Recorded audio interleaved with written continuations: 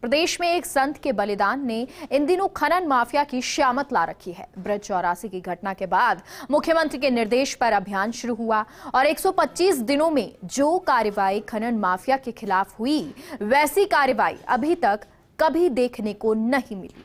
देखिए ये खास रिपोर्ट। ब्रज चौरासी में संत विजयदास का बलिदान खाली नहीं गया। मुख्यमंत्री अशोक गहलोत ने खनन माफिया को उखाड़ फेंकने के निर्देश दिए थे। इसके बाद 21 जुलाई को शुरू हुए अभियान में रिकॉर्ड कार्रवाई देखने को मिली है। ब्रज चौरासी में बरसों से अवैध खनन कर आस्था की जड़ों को खोखला करने वाले माफिया अब सरकार की ताकत के आगे बेबस नज़र आ रहे हैं। खनन माफिया 125 दिन से चल रही कार्रवाई से भयभीत होकर भाग खड़े हुए हैं। अवैध खनन अभियान के 125 दिनों के आंकड़ों की बात करें तो अवैध खनन के खिलाफ कुल तीन सौ बासठ मामले बनाए गए। इसमें से खान और पुलिस विभाग ने 250, पुलिस ने 45 और वन विभाग ने सड़सठ मामले बनाए। अवैध निर्गमन के खिलाफ कुल 2626 मामले बनाए गए। इसमें से खान और पुलिस विभाग ने दो हज़ार सतासी पुलिस ने 504 और वन विभाग ने 35 मामले बनाए। अवैध भंडारण के खिलाफ कुल 103 मामले बनाए गए। इसमें से खान और पुलिस विभाग ने छियासी और पुलिस ने 17 मामले बनाए। तो वही कुल प्रकरण तीन हज़ार इक्यानवे बनाए गए। इसमें से खान और पुलिस विभाग ने 2423, पुलिस ने पाँच सौ छियासठ और वन विभाग ने 102 मामले बनाए। कुल नौ सौ एफआईआर दर्ज की गई। इसमें से खान और पुलिस विभाग ने तीन सौ उनसठ पुलिस ने 521 और वन विभाग ने अठहत्तर एफआईआर दर्ज कराई कुल पाँच सौ तिहत्तर गिरफ्तारी में से खान और पुलिस विभाग ने 140, पुलिस ने तीन सौ छियानवे और वन विभाग ने सैतीस गिरफ्तारी कराई।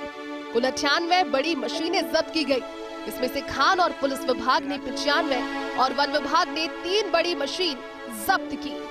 कुल तीन हज़ार एक सौ अड़तालीस वाहन और मशीन जब्त की गई इनमें से खान और पुलिस विभाग ने 2356, पुलिस ने 690 और वन विभाग ने 102 जब्त की कार्रवाई की।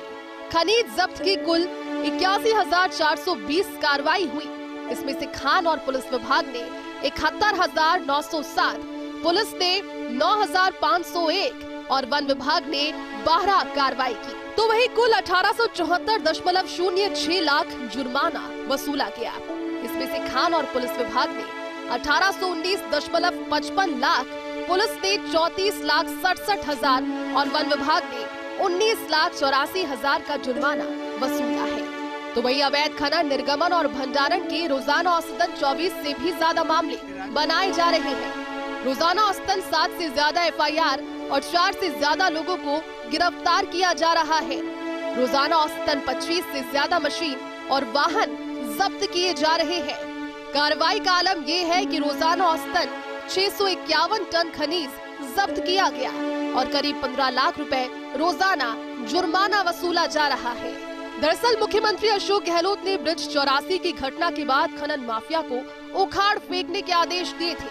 इसके बाद से मुख्य सचिव उषा शर्मा, डीजीपी और वन विभाग के PCCF HoFF doctor DN Pande खुद अभियान की मॉनिटरिंग कर रहे हैं। खान विभाग के एएससी डॉक्टर सुबोध अग्रवाल के अनुसार अवैध खनन की निगरानी और रैकी पुलिस के ड्रोन तक से की जा रही है। इसके पीछे सरकार की मंशा साफ़ है कि अवैध खनन मंजूर नहीं है और न ही माफिया की सियासी सरपरस्ती।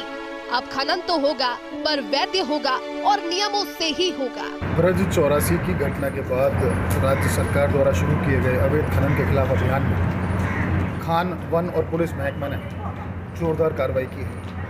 अभियान को 125 दिन हो चुके हैं और इस दौरान रोज़ाना सात से ज़्यादा एफआईआर काटी जा रही हैं। चार से ज़्यादा लोग गिरफ़्तार भी किए अस्सी हज़ार मीट्रिक टन से ज़्यादा खनिज को जब्त किया जा चुका है। कुल मिलाकर कहा जा सकता है कि जिस तरह से इस बार तीनों विभागों ने मिलकर अवैध खनन माफिया को उखाड़ने की जो शपथ उठाई है, अगर ये जज्बा कायम रहा तो निश्चित तौर पर कहा जा सकता है कि आने वाले कुछ दिनों में खनन माफिया के पैर उखड़ जाएँगे। कैमरा पर्सन इकबाल के साथ Nirbal Tiwari first India news Jaipur.